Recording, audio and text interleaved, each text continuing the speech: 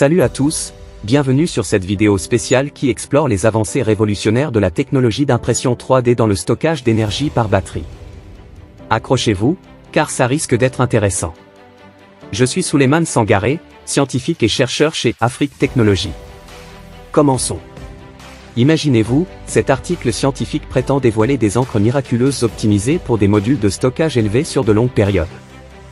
Des électrodes à fibres LFP et LTO qui, selon eux, offrent une capacité élevée et une excellente cyclabilité. Tout cela grâce à une méthode d'impression 3D rapide, peu coûteuse et évolutive.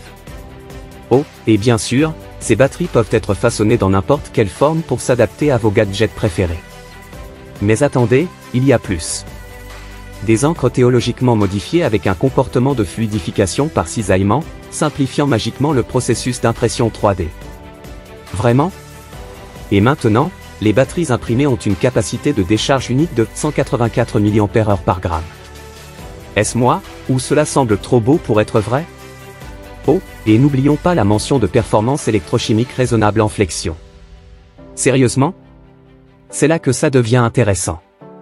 Ils prétendent que tout cela ouvre un large éventail d'opportunités pour la prochaine génération d'appareils électroniques portables.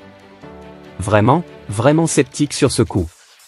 Alors, restez avec nous, car nous allons plonger dans ce avenir révolutionnaire de la technologie d'impression 3D.